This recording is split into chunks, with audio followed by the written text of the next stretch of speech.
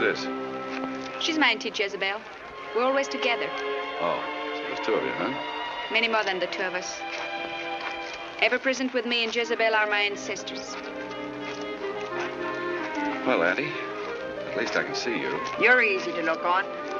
Five nights running, I dream of tall young sea captain, very handsome, with bronze face and blue eyes. Walks like a king. He stopped very close to me and he say in voice like water music, Oh, Jezebel.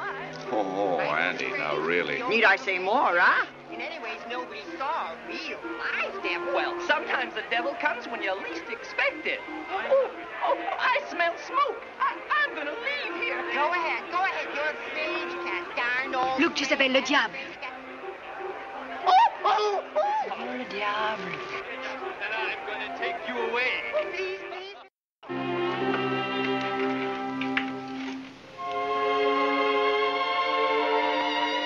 That's strange. There's something oddly familiar about this. Aunt Jezebel stole it from you coming from the courthouse. She's like a child. She can't resist shiny objects. Then we forgot to return it. Oh, you forgot. It's a beautiful watch. I could keep it beside my bed for a clock. And every time it ticks, it would help me think of you. Here. Madam, you make it a pleasure to be fooled. Thank you. You know, you're not such a fool. And you oughtn't to act like one.